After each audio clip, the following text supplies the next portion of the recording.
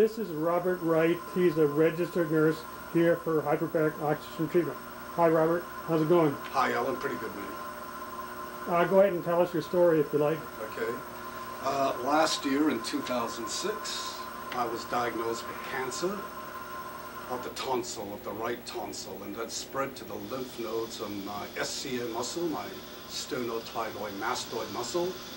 As a result, I had my tonsil removed, I had my sternocleidomastoid mastoid muscle removed, and I had radiation to the right side of my face.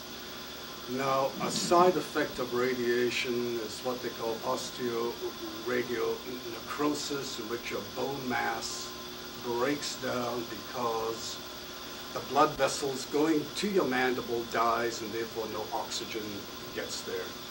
What the oxygen does now with this hyperbaric therapy is that uh, it floods the area with 100% oxygen under atmospheric pressure with the result that the small, small blood vessels that aren't used in the normal case get activated and flood the whole area with oxygen, hoping that it will reverse the side effects of the therapy, of the radiation therapy, and aid in the reconstruction of the uh, bone mass.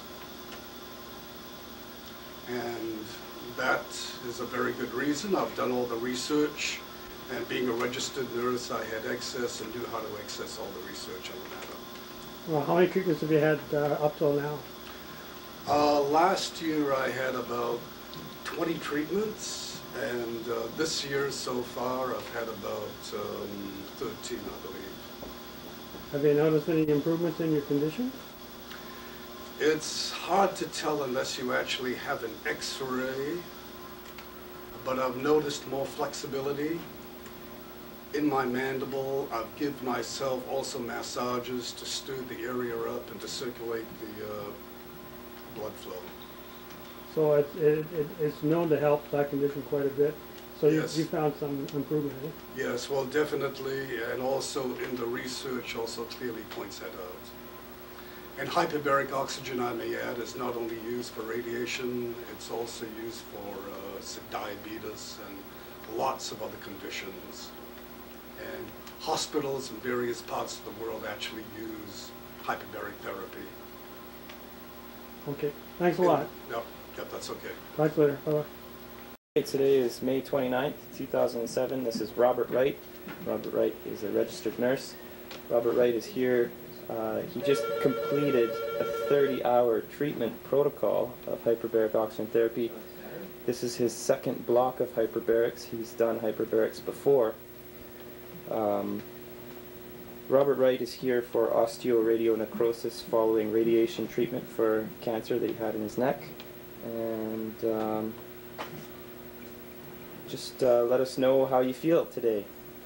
I feel great, actually, That's good. and uh, lots of energy, lots of vigor. Um, with the ORN, the osteoradionecrosis, what we're looking for is an improvement in the X-ray. And we haven't had a follow-up X-ray yet, but we're looking forward to it. Yeah. Um, outside of uh, the X-ray, can you comment on any sort of uh, uh, changes, improvements, differences that you've noticed in anything else while you've been here? Well, just a state of well-being, basically, um, an improvement in vitality, and I'm just waiting for the X-ray, which is going to come next month after I, have a doctor's operation. Uh, after I have, I have a doctor's appointment with an X-ray, and that's going to be a benchmark in which we can tell by comparing it with previous X-rays. So that's what we're waiting for. And the way that I feel, I'm sure that it's going to be a positive outcome. Great, great. Are you satisfied with your experience here at uh, Richmond Hyperbarics? I am extremely satisfied. Service has been excellent and the staff has been wonderful. Great. Any closing remarks?